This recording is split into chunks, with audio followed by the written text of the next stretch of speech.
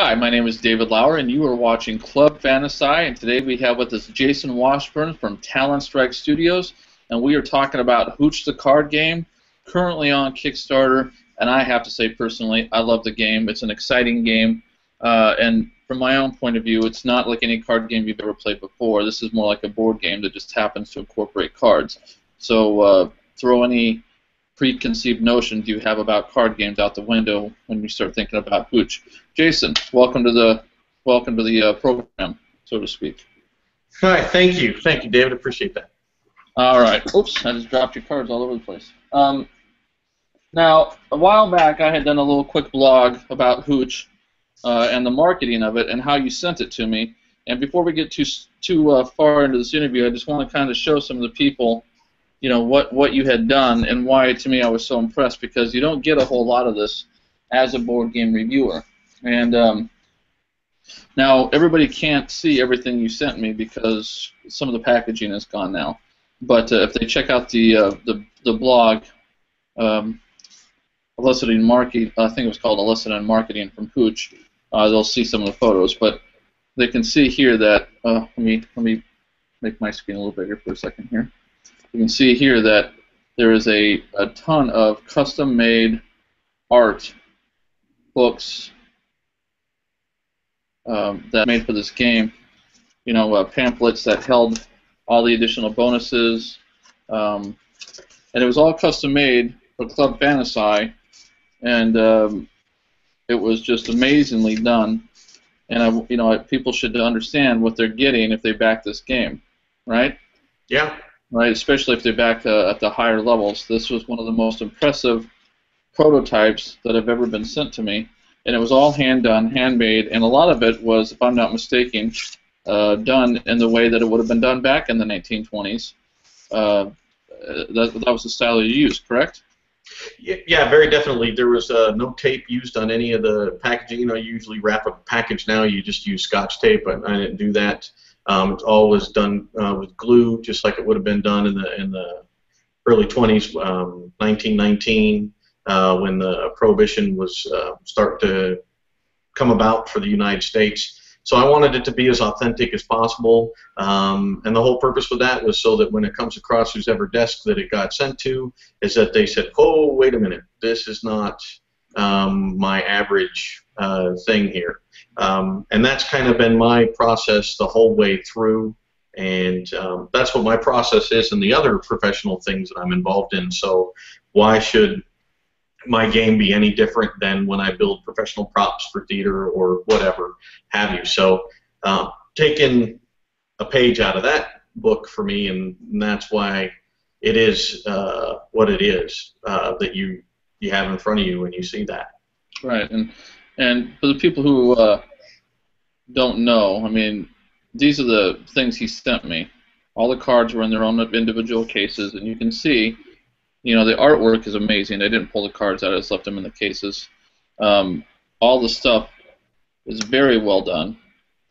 And one of the things for me being a marketer for a living is presentation and how professional the company is that's sending me stuff. And the more pro- professional they are when they send me even their prototypes, the more likely I am to back or talk about their product because I know that the end result is probably going to be very, very well done versus some of the prototypes I get sent, which are just a bunch of pieces in an envelope mailer that aren't even plastic baggies. So it's a big, huge, giant mess. And so I want to thank you, first of all, for taking the time to do this. Well, you're welcome. It, you know, for me, it's it's a lot of fun. Uh, to I mean, it's work, but it's also fun to take to take that. I mean, you spend two and a half years designing a game, working on it, refining it, getting it to a point where it plays well, and you really have the feel of what you're trying to bring across. And uh, I'll get into that with you a little bit here, but the that's the idea. And it, for me, it really has to start with that, and and um, that's what I wanted to convey. So when you open that package up and it should be that. It should be, oh my gosh, what you know, and and that's what I wanted. And um, I know I believe that I achieved that. I've got a lot of feedback on the prototypes that went out and the people that received them, and that uh, it was you know they thought it was uh, I got things like this is crazy cool. Oh my gosh, how much work is you know how many hours did that take you? What have you put into it? And um, so it's a lot of good comments that way, and that makes me feel good about the time and energy that I spent doing it. But it's a lot of fun for me because I themed everybody's a little bit different. Um, you know, you got some different promos than than the next guy got. Uh, so you know, um, like for instance, Rianne Oaks, I sent her a copy. She, I sent a necklace with a with an H with little pink studs on it, so it's all female looking. Um, you know, so it's, it fits that. Uh, League of Nonsensical Gamers, I sent them one. I sent him cufflinks. Um, so I made custom hooch cufflinks for him. Uh, I know that when he got that, he was that he was uh, oh my gosh, this is so cool. I sent uh, Dice Hate Me got a pair of custom cufflinks, you know, with their monicum with hooch on it. Um, so I kind of did different things for everybody uh, that um, as I kind of went through it um, just trying to come up with the different with the different things. Um, you know, uh, Board Game Duel uh, has a great review on the game, and she and her group really enjoyed it. But it was funny because before I sent it to her, we were talking about hooch and the prohibition, and she made some comment about drinking hooch while playing hooch, and uh, so I made a custom mason jar with some custom art on it for her, and right. put that in the box and sent it. And uh, she tweeted a picture of it. It was great. She had a some stout beer in it was she was playing, and it has a little custom thing that hangs down. And um, I also sent out, uh, if you can find it, I don't know if you have it in there. I sent out custom thank you cards.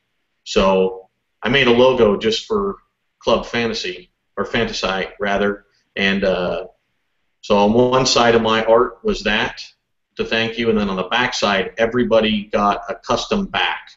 Right. Um, and yours was the bowler, if I remember correctly.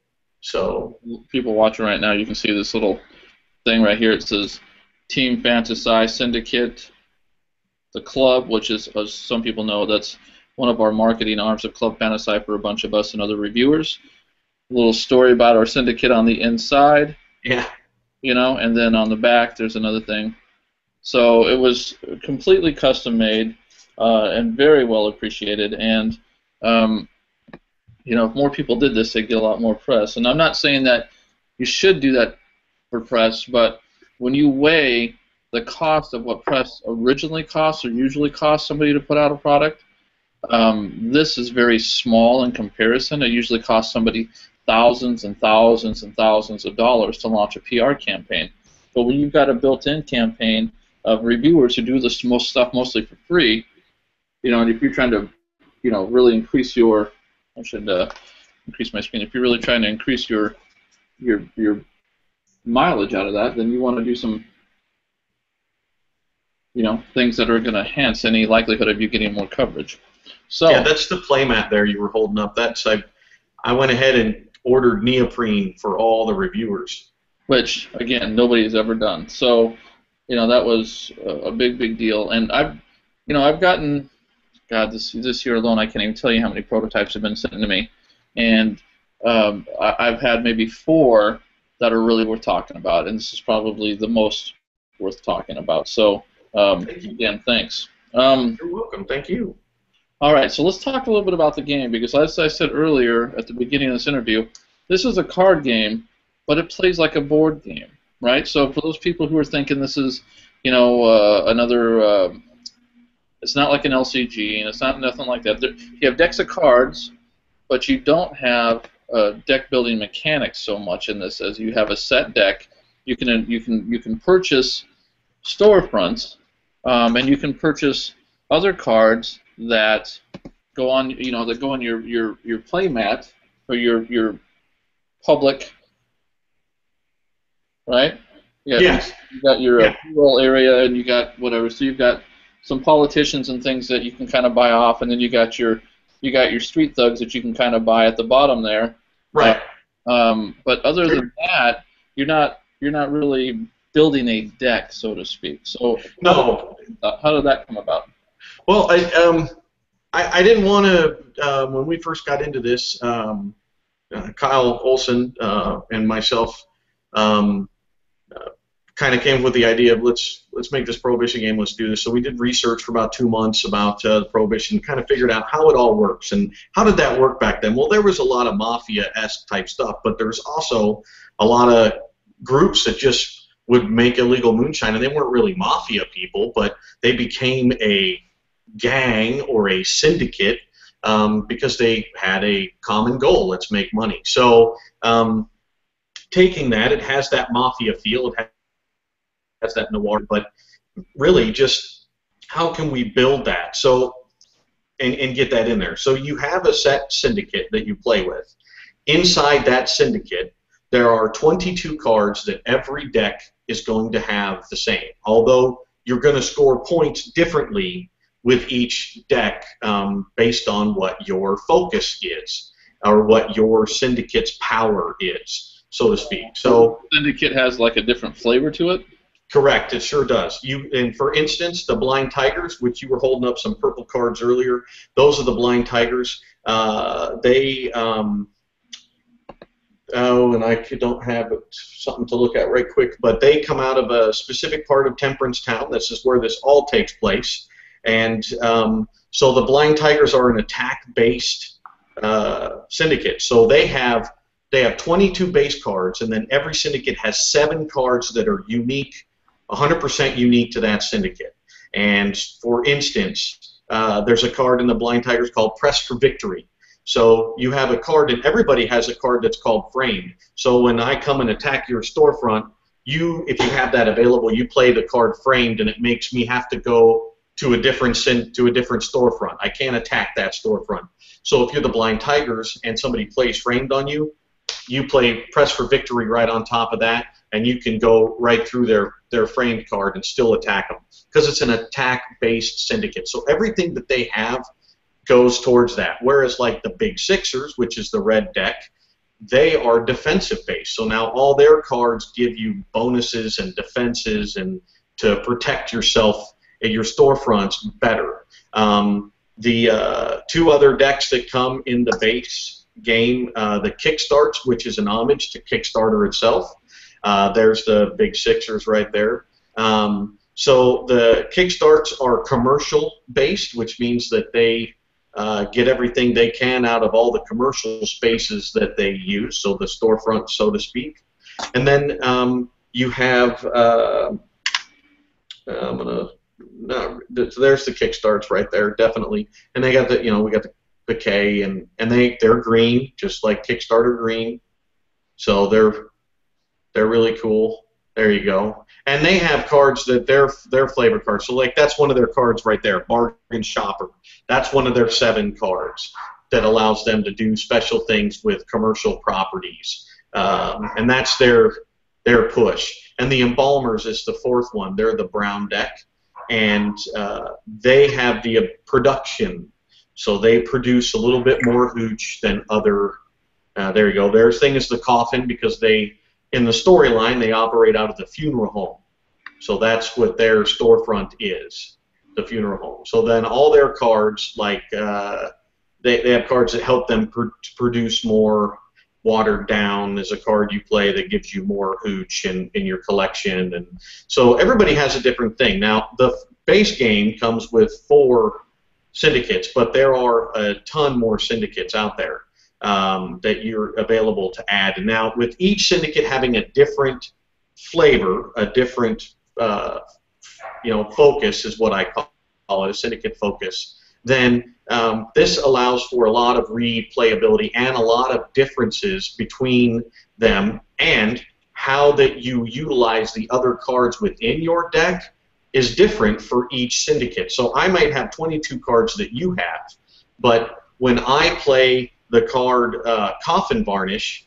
and I'm the Embalmers, I get points off it, where if you play that card as the Blind Tigers, you don't because it doesn't deal with production um, but mine does. So there are some points, there are some things like that. Also, on top of that, you have uh, six influence cards in that deck, and you have uh, five event cards. Now, those are in each deck, and that equals 11 cards, but they're all different across all the decks, and there's an event card right there. So now they have all the same art on them per, across the decks, but you will notice that the there's an influence card there that nothing personal. Ah, that's my homage to uh, to another game about gangsters. But um, the they all have the icon and they represent different different things. So the idea being there's 11 of those. Now, at the beginning of the game in setup, you're going to take your five event cards and your six influence cards out of your deck, combine them in the center of the table with everybody else's event and influence cards, and then you're going to shuffle those and then deal them out like poker. So every time I sit down to play, I'm getting six different influence cards. I'm getting five different event cards. I have seven cards that are unlike anybody else because they're my syndicate. So then that's going to equal 18 cards. So every time I play the game, I have 18 cards that are not. So half my deck is just tailored to me. It doesn't, you know, so it it's not a deck builder, but it has uh, a mechanic in the game that's is representative of deck building, where you're not just going to have the same old deck every time. And the other thing is, it's not something that you build that uh, is like, oh well, that guy's going to win because he went and bought the best cards at the store, and you know, so it's not a pay-to-win game either. Um, the next cool thing is every syndicate comes with two storefronts, and uh, in the storyline, they are representative of that. And to give you an example, the Vice Squad, which is the dirty cops, they have the donut shop that's the tailor shop right there. That's the embalmers. They have the tailor shop and they have the uh, funeral home. So each storefront also has a unique ability to it. So um, the the great thing about it, I believe, the home is you allows you to keep an extra or draw an extra card or keep a card. I think it's draw yeah. an extra. Funeral home is draw. Uh, funeral home is draw an extra card in your draw phase. Right. So now if you have that on, if you own that and you're controlling that, when you draw, instead of drawing five, you're going to draw six cards. So it's unique to the person that owns it. Now let's say I'm sitting across from you and you have that storefront, but I really want the ability of that sixth card. So then what, what do I do? I'm going to come over and attack you and try and take that away from you, and then I get that ability when it comes over to me.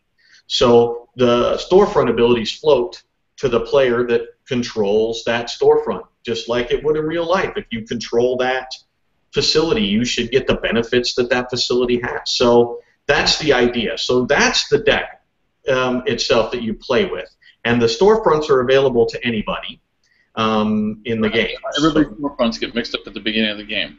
Correct. And they're you have nothing to start with. They're out there. They're purchasable. Uh, in order to make that purchase, you have to have a mouthpiece, which is a lawyer. Um, the mouthpiece is a nickname that uh, gangsters used to have for what a lawyer is because he speaks for you. There you go. There's a mouthpiece card right there. So um, the mouthpiece, his unique ability is to buy and open a storefront. So once I have a mouthpiece on my payroll working for me, then I can go and buy commercial property, open up a business, and it has a legitimate business in the front, and they did back then. And then in the back, I make an alcohol that I'm selling. So each storefront creates a set number of hooch during that round. You can increase that with cards and stills. So uh, just because the number on there isn't the number it's always going to be, you can purchase stills and up that uh, production, and you can also um, put cards uh, down when you're playing in your purchase base to up that production as well. So um, it's really it's a very fluid game, and there's a lot of cool things that come into play and how your deck makes those connections with uh, the mechanics and the things that are there. So it's really a very dynamic environment, but it's also replay because sitting right now we have 11 syndicates. Um, I got a backer that backed to 2,500, which means that he's paid for a syndicate to go game wide. That's what he paid for, $2,500. So he and I will design a syndicate together that fits within the monicum of the game. He'll get to name it as long as it's you know not a goofy name, but he'll get to do that and, and everything else. And and now as a backer, how cool is that? You get the four syndicates that come with the base game, plus you get the lethal Ladies XP did that update yesterday. That's just free, and that's a whole thing of in itself. And then you're going to get this this backer who's so awesome to back it at twenty five hundred dollars. Now you're going to get his syndicate. So you're getting six syndicates. So um, in the in the in the base game. So it's it's really awesome from that standpoint. And then you can begin to see, okay, if I'm if I have a game group and I'm playing, it's typically four people we play with all the time. I got six syndicates to choose from. Well, each one of us might want to play each different syndicate. Well, how many different games is, are we going to get in doing that? Well, it's a lot. That's a lot of replay value. Plus, two, there's there's add-ons and there's other syndicates out there, and there's some other things that stretch goals we want to get to, and that are going to incorporate new syndicates and different stuff. But um, something that's interesting, and this is funny. Uh, um, I sent a game to Lance to have him look at it, the Undead Viking, and I'll just real quick, briefly.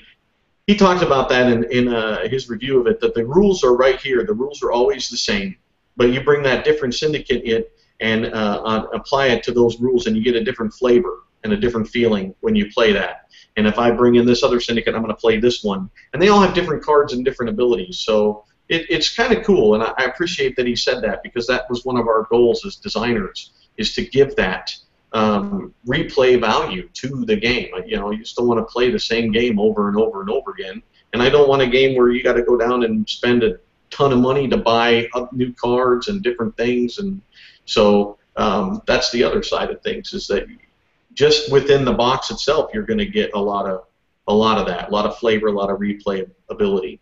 Well, let's talk a little bit about some some more of the basics of the game. You know, we've, got, we've got two different cards here. You've got syndicate characters. Yes. Right. And then yes. you've got public characters. Right? Correct. So, yes. And I've got the politician there. So. Uh-huh. Here's like your dirty rats, man. These are the people that you've hired to do all the all the, all the dirty work, right? Correct. And, They're Right, and then the public characters are, are the, the other side of things. They're your your public figures, and they're if you notice, they all come from public authoritative jobs. So. For instance, the politician, he works for the city hall, he works for whatever. You bring him on the payroll, and now you can utilize his. You can start twisting him, and you can utilize his ability to starve off city politics. Um, if he he has the ability to become the mayor, and then that makes you immune to certain things within the game because you're the mayor. Um, so the public the public uh, group, there's five of them, and they all allow you to do different things. Uh, but you can they all play at one time usually. You have to you have to purchase these cards. Correct. They, yes, you have to bring them onto your payroll, just like you would in real life. You're running a criminal syndicate. You're going to have to go out, find them, pay them and bring them back and put them to work. And now they work for you. So then underneath that, you have your syndicate. Now, those are people that are going to just be folks that um, are within your syndicate. And you hey, this guy's a hitman, or this guy's a snitch, or this guy's a grifter. Um, so it kind of works that way. And when we did the research, and there you go, there's a capo. When when we did the research on this, we wanted to get it true to life to have that feeling, and that's how it works. They would put public people on their things and syndicates. So you take your syndicate characters and you get them at a low level. So for instance, you pay a rat to come on your payroll, and then he does what a rat does. He goes out and gets information and allows you to retain that information.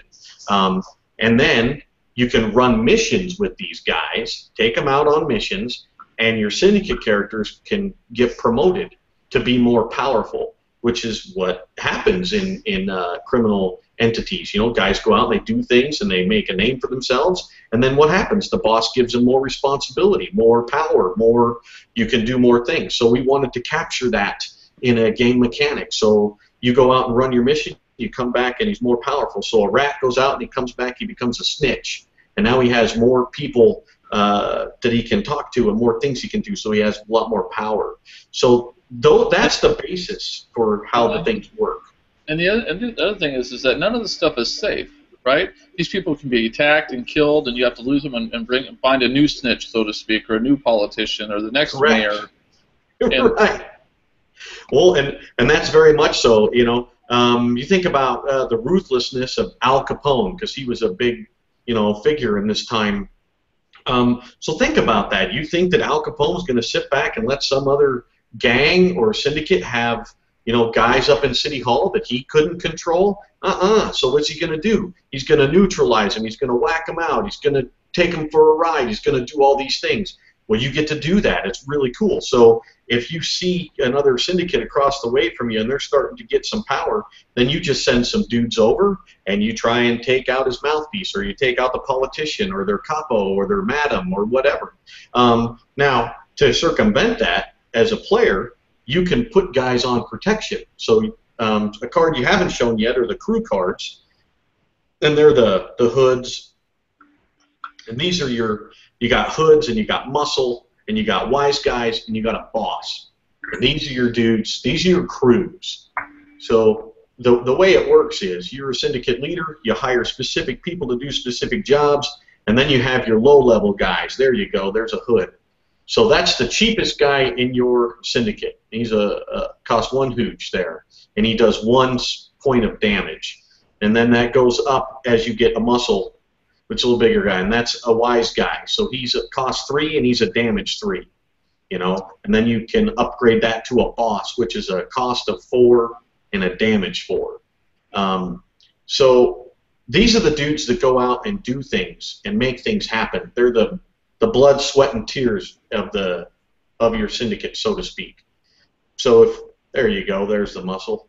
So if you want to if you want to knock over somebody else's storefront or you want to go make a hit on a guy, you take proof with you, just like you would in, in real life. You're not going to go and do that by yourself unless you you know you hire a specific hitman to do that, and there's the ability to do that in the game. We have cards like that, but um, you you know you want to go and attack a storefront you take two or three crew members with you, all their combat value adds together to make them stronger as a crew, as a team, and then you go against that storefront. And then you hope that uh, your rival doesn't have uh, a whole lot of protection sitting on that storefront. And you won't know. There's a fog of war in this game where you don't know what that guy has sitting in that storefront because his cards are turned upside down. You know it's protected, but you don't know what the value of those cards are. Um, you can guess. There's there's you know educated guessing that would go on, and you would know that too. How big somebody else's syndicate is, or how powerful they may be. But um, you know that's the cool thing about this game is you don't you don't know that for sure.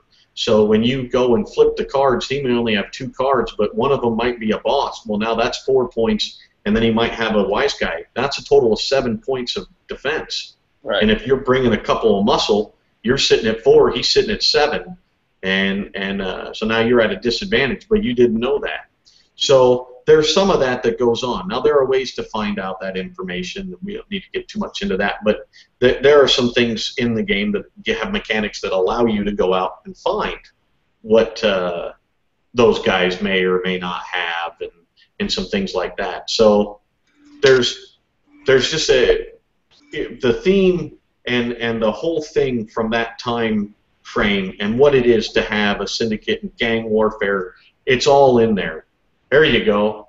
Now that's that's from an expansion the lethal ladies expansion which you get for free when you back the game. Um, they have different cards. So that was the harpy that's the amazon. You're going to get the hellcat. There you go. And then the last one is the uh, tigress and she's the level four. So the cool thing about the Lethal Ladies is they only hire women. It's an all-female syndicate, um, and uh, when you get that expansion, you're going to get those cards. You're going to get crew that are all female. The crew you were showing earlier, just the generic crew that every syndicate would hire, just the guys that they would hire. That is unique just to it. Now that you're showing a, a blind tiger uh, hood, and I put promo cards that I had made um, that's a stretch goal to get to. So every syndicate would have their own crew, colored crew. And uh, the promos are just to give you guys the idea of what it looks like in the red and the in the different colors. That there you go. There's the Kickstarter color behind them. So um, as a reviewer and and uh, hopefully uh, get those out there that uh, this is something we want to do. So that's a stretch goal, and that's a promo card is still um, that's from an old build of the game. We use uh, counters now, but I thought I'd throw some of those in there. I thought they were cool. Um, uh, so we wanted to give some extra gifts to those folks that spend so much time helping us um, to get information out there about the game and play it. You know, Right. you deserve that. Well, we appreciate it, that's for sure. So Thanks. the, the last thing I want to talk about game as far as the functionality of the game goes is this, and this is what sets up every round, and this is what allows those uh, uh, syndicate players or cards to really come into play, and that is your The action cards. Yeah. Yeah. So at, at the beginning of your turn, there's there it's there's eight phases in your turn. You think that sounds like a lot, but it, it's really not. The uh, action phase is the first phase, and, and that's the old switcheroo you're seeing right, right there. But icons on the card represent some different things for you. And if you look there, you got a mission, and then you got the action down below it. So basically, as a player, um, the first thing you do is discard down to five cards, and then you draw your action card. You're going to flip that over. Um, the hooch crate up in the corner allows you to draw one extra hooch, and then you read the action. If there's a public mission available, you can do it, and then you read the bottom of the card, and then it uh, has an action, and sometimes it's co-op, and sometimes it's player-based. Um, many of the cards are co-op based, though, so there's there are co-op parts of this game as well. Um, and this this right here uh, kind of pushes that along. It also certify. It also works rather as a uh, um, timer for the game. So when the action deck runs out, that's one way for the end game to trigger. Um, there are three ways to, to trigger the end game in, in our design, um, but that is one of them. Um, the action deck runs out. So every player flips an action card at the beginning of his turn. Um, if you're playing a four-player game, there's 45 action cards. Uh, we're still there. One or two tweaks there. It, uh, you know, possibly uh, having a little bit less cards when you play with less people, so the game, you know, it around about 10 rounds is is, is plenty, um, and that's what 45 gives you. Um, so that's kind of what you want. Um, and and then you know you move through the different phases a, as you go. So you complete the action, then you do the purchase phase. You buy your guys. Uh, yes, there's the. I'm sorry, it was black and white. I wanted it to be color. still so, still very nice. so expensive to get color printing. Um, still still cool and and you know just so that people can see it it's you know it, it's a little bit unique it's a little bit innovative and it's very well done yeah, it's and I that's all me. I did all the I did the layout on that and all the artwork on that. I'm the artist for the game as well. Um, so and there's one or two things we're still you know I'm sure that we'll tweak in there before uh, it prints. But I would say 99% of what you played and what you have um, is what it is. Uh, and there may be some things like that. We've also talked about. Um, doing a couple of things changing up for uh, you know a lot of games come out and have like advanced rules and less you know for people that kind of want to get a little more in depth and do a little bit more things with it. So um, we're kind of shooting that around a little bit. So it doesn't change the mechanics of the game at all. It just um, gives you a little bit more uh, added to it for those folks that might want that a little bit more theme in their in their game.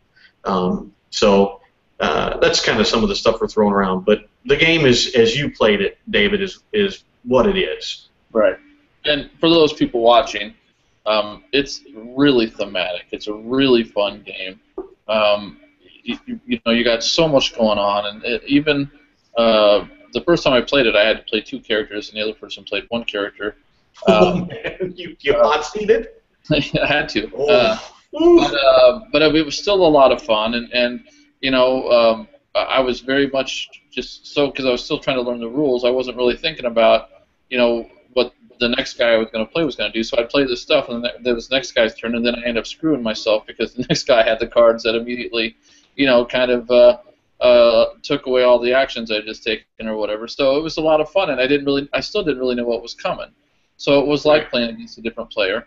Um, but um, you know, it's a great game. I was really shocked at how much fun I had playing this game, how thematic it is. There's definitely a lot of replayability. There's a lot of things going on. The, you know, the different flavors with the doing the action card and then doing the missions and then then purchasing your cards and then uh, playing any cards that you're going to play against your opponents and making your attacks and those kinds of things.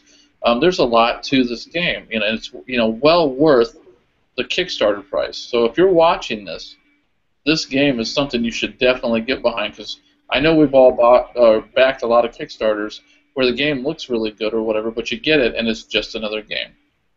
It's not bad, but it's not great. This is a good game. This is a really good game, and this is something that deserves a lot more attention than what it's getting. So, uh, if you trust my judgment at all, back the game, plain and simple.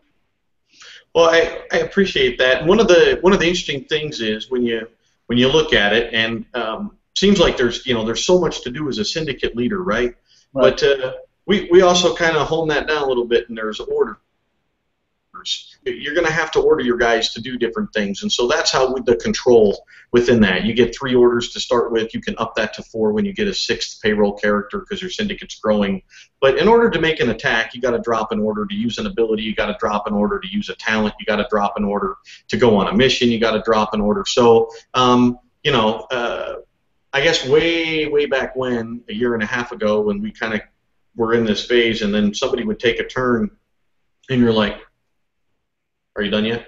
Are you done yet? And it was kind of so we we and we then got to the well we need to come up with a mechanic that's going to do that and then um, that the order mechanic developed and we started to bring that into play and and now it just it just flows and and it's really cool. It's great to to have that because that's what you would do as a syndicate leader. You would order your guys to go and do stuff. So as a designer, I wanted to do that as as best I could to give you the feeling of what it is to run a criminal kit in the seedy underworld of the prohibition.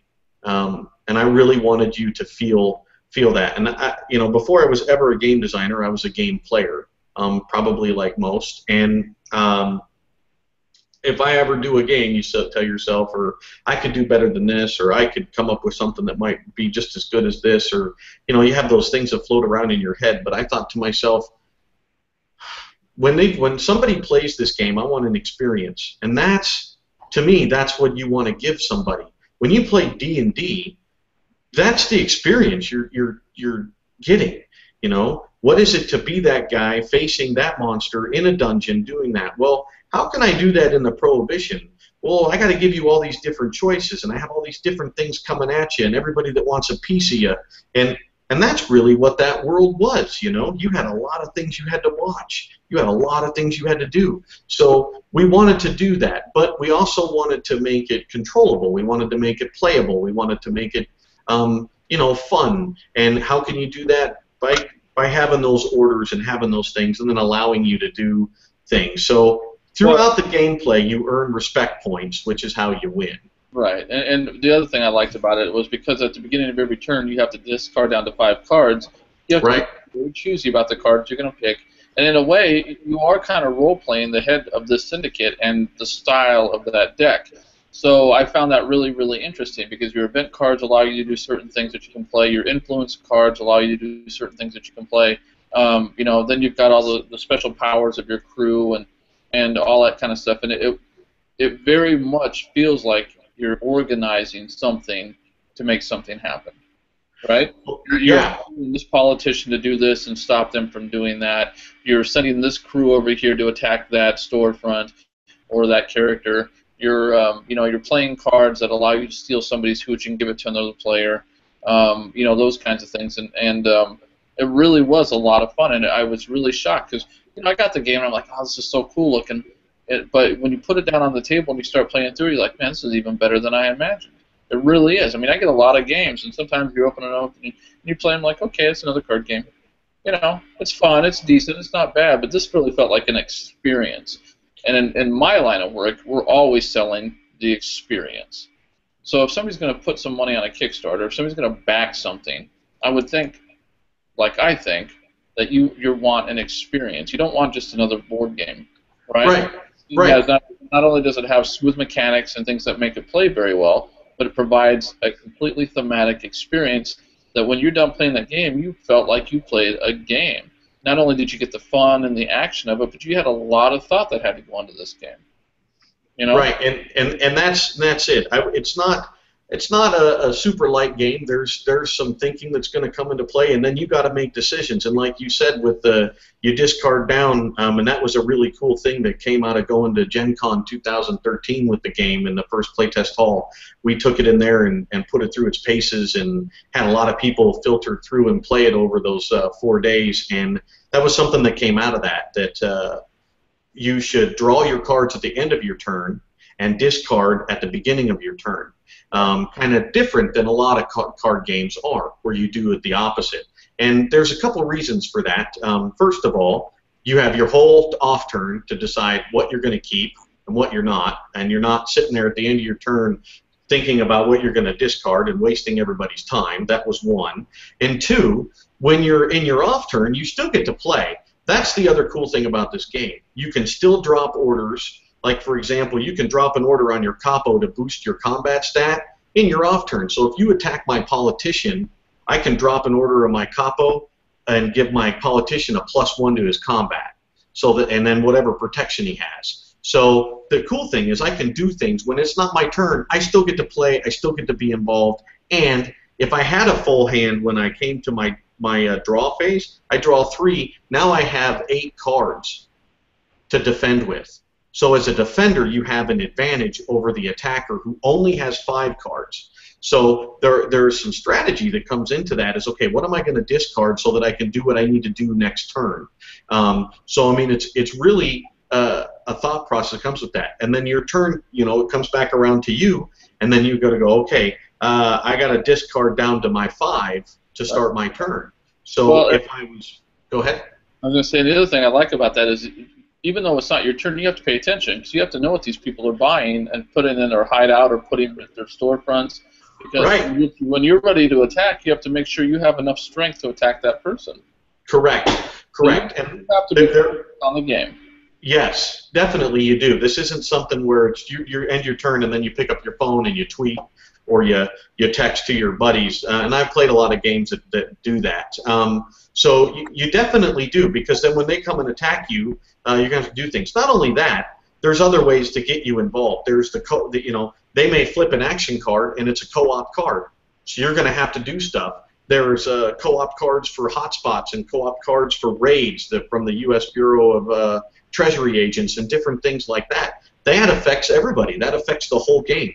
So it's right. not your turn, but you're still you're still playing. You're still engaged actively in what is going on. So that was another thing we tried to do as uh, as game designers is you know if you don't really pay attention in it's when it's not your turn, you're going to make a mistake. Um, you know how bad that mistake is going to be. you know I've played a lot of this game, and I'll tell you sometimes it's worse, sometimes it's not. But uh, you you definitely do better when you're actively engaged, and and um, it's a little bit longer play but it doesn't feel that. I know that when we play, um, we play anywhere from hour and a half to two hours, um, and it it doesn't feel like wow, that was you know an hour and, and a half or you know an hour and 45 minutes, but it only feels like you, you played an hour maybe, um, just because the the flow of the game and the time and the different things you get to do and um, it's a, I mean it's cool. You know, you'll start putting cards down. You know, on people, Firebug and Button Man, and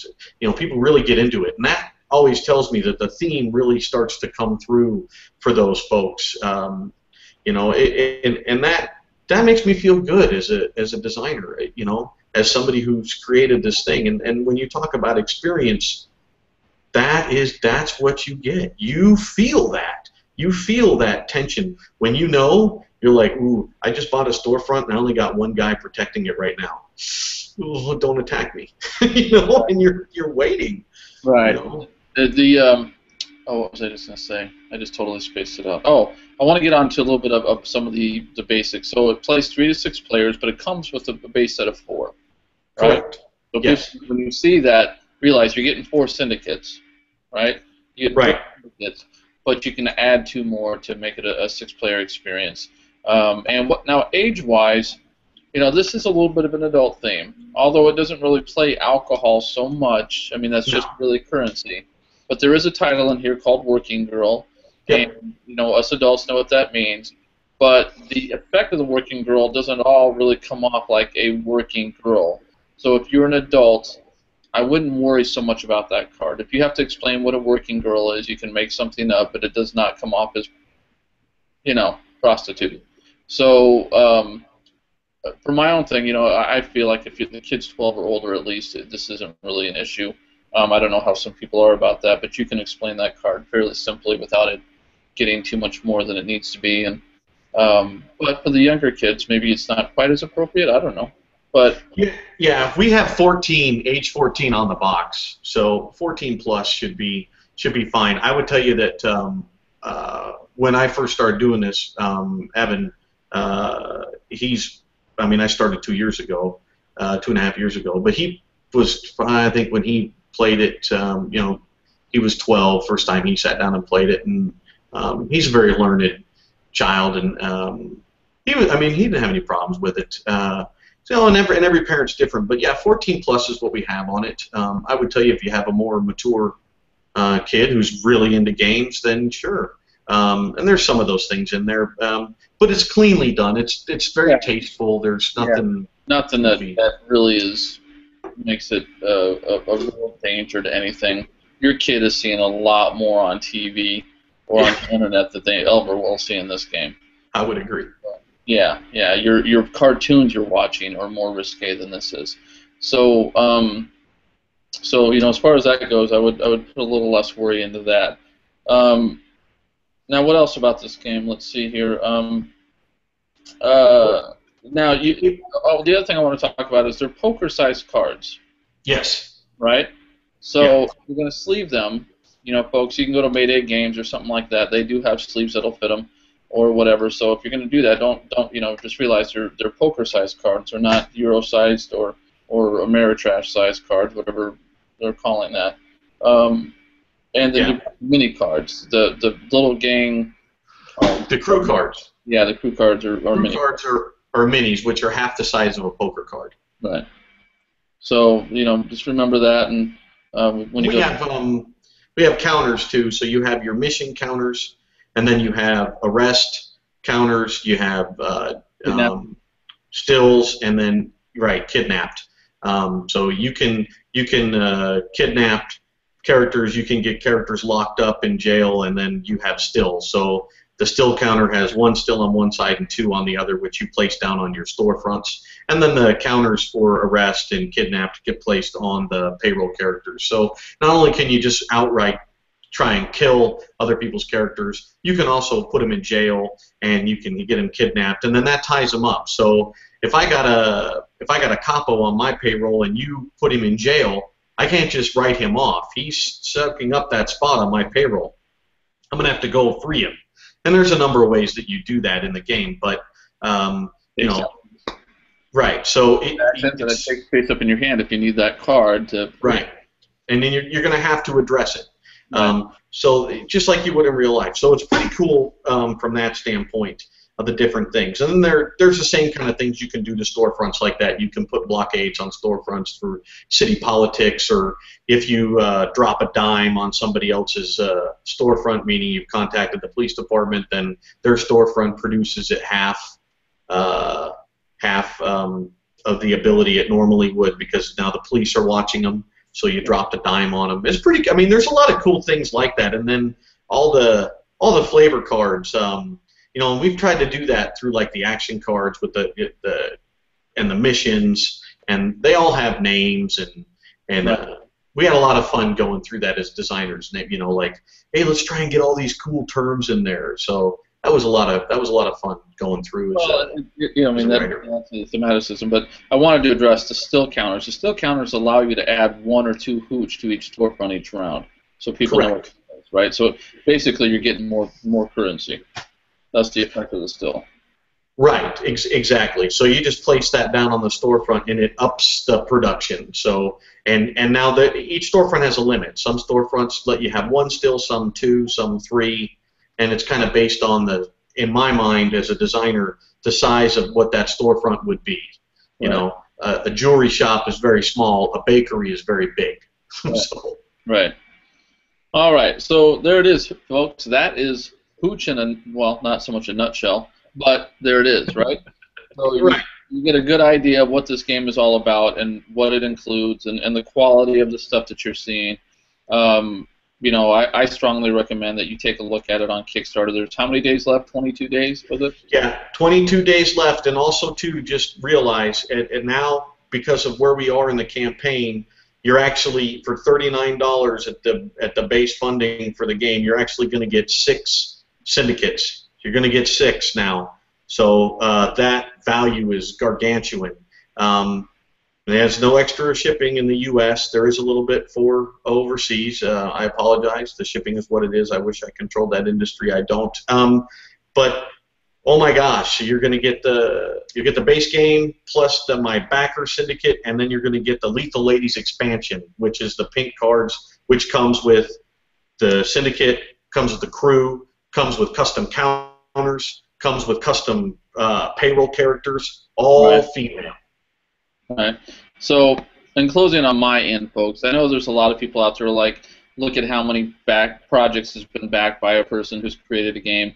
Well, like me, Jason has two different accounts on Kickstarter, and so there's, you know, a lot more backing than you might see on one account. So, you know, don't look at that and go, well, he hasn't backed that much. You really have no idea how many he's backed. The other thing is the price of, of 35 grand for this first Kickstarter. This is business. Things cost money, and to put things out at this level, this quality, it costs money. $35,000 is not much money for any kind of project or business thing. I've done Kickstarters way bigger than that for musicians who need a lot more money that have absolutely no acclaim whatsoever. So don't let that fool you. This game is worth the price. Get behind it, back it. Please RT, please share. Put this on your social media networks. Go talk about it on Board Game Geek. Go talk about it on Reddit. Go talk about it on Google Plus. Wherever it is that you hang out and do most of your stuff, talk about it and share it and take an honest good look at it. There's a lot of money that went into this game ahead of time, way more than I've seen for most other games. So give it a fair shake, and, and, and if you if you really like it, if you think it looks cool, share it and talk about it. There's only three weeks left, all right? Yeah. Jason, I want to thank you for coming and talking with us. Uh, you know, sharing your game with us, and again, thank you so much for all the hard work you put into this, sending us this custom built um, game. This was awesome. I'm, I'm enjoying it thoroughly. Uh, everybody around me that's playing it with me is enjoying it thoroughly. Um, we haven't had any real negative comments about it at all. Um, so I, you know, I definitely am standing behind this game 100%. And again, thanks for taking the time to talk with us, and we wish you all the best on this. Thank you so much. I, I really appreciate it, David. It's been a pleasure to uh, talk with you and work with you uh, as a you know as a reviewer for for this. Really a, a neat experience for me. Thanks. Thanks. All right, folks. Uh, you can find us at clubfantasci.com. You can find uh, Jason at uh, I think it's TalonStrikeStudios.com. It's talonstrikes.com. We dropped the studio on our website. I'm also on Twitter at uh, my handle is at talonstrikes. All right. Uh, like the Facebook page. Do all the things that you know to do to help support the community. And uh, you know, if you're watching this video uh, off of our webpage itself, all these links will be posted there. So just go to the bottom of the page and you can see it. Again, thanks for watching. Thanks for being a part of what we have to offer, and I hope what we offer you is something that you enjoy. Have a great day.